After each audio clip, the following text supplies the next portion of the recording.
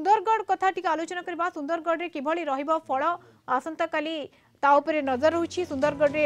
ଯଦି ଲୋକସଭା ଆସନ କଥା କହିବା ଦିଲ୍ଲୀପ ତିର୍କି ରହିଛନ୍ତି ବିଜୁ ଜନତା ଦଳରୁ ଜୁଏଲ ଓରାମ ରହିଛନ୍ତି ଭାରତୀୟ ଜନତା ପାର୍ଟିରୁ ଏବଂ ଜନାର୍ଦ୍ଦନ ଦେହୁରୀ ରହିଛନ୍ତି କଂଗ୍ରେସରୁ ଏବଂ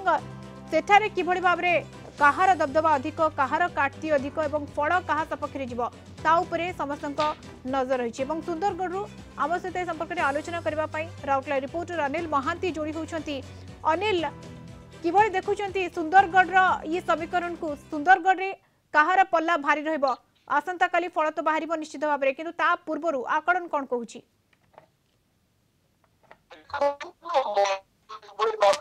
দিন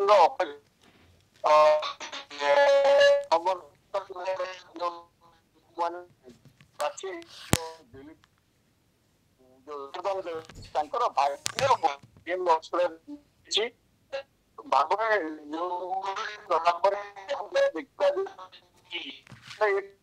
ତ୍ରିମୁଖୀ ପଡୁଛି କାରଣ ଗତ ଦୁଇ ଯୋଉ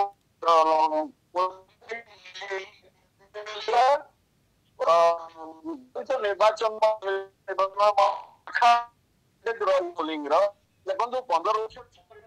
ପାଞ୍ଚ ଯୋଉ ଭୋଟର ଅଛନ୍ତି ତାଙ୍କର ସେଥିମଧ୍ୟରୁ ଏଗାର ଲକ୍ଷ ପଚାଶ ହଜାର ଆଠଶହ ପଞ୍ଚସ୍ତରୀ ଜଣ ଭୋଟ ଦେଇଛନ୍ତି ପ୍ରାୟ approximately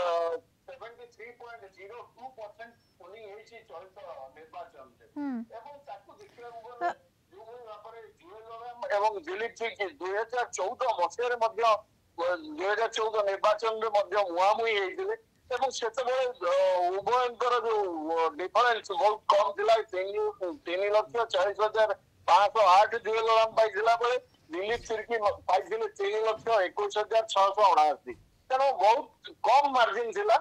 ଏବଂ ଚଳିତ ଯୋଉ ନିର୍ବାଚନରେ ଯେହେତୁ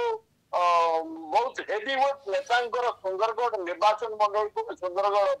ପାର୍ଲାମେଣ୍ଟ ଯୋଉ ନିର୍ବାଚନ ମଣ୍ଡଳୀ ଅଛି ସେଠି ଗସ୍ତ କରିଛନ୍ତି ଜେପି ନଡ୍ଡାଙ୍କ ଠାରୁ ଆରମ୍ଭ କରି ଅମିତ ଶାହା ପର୍ଯ୍ୟନ୍ତ ନିହାତି ଭାବରେ ସୁନ୍ଦରଗଡ଼ରେ କ'ଣ ରହିବ ଏବଂ ସାତୋଟି ବିଧାନସଭା ଆସନ ରହୁଛି ଏବଂ ସୁନ୍ଦରଗଡ଼ରେ ଲୋକସଭା ଆସନ କଥା କୁହନ୍ତୁ ଏଠି ଫଳ କାହା ସପକ୍ଷରେ ଯିବ ଏବଂ ଆସନ୍ତାକାଲି ହିଁ ନଜର ରହିବ ତା ଉପରେ ବହୁତ ବହୁତ ଧନ୍ୟବାଦ ଅନିଲ ଆପଣଙ୍କ ସୂଚନା ପାଇଁ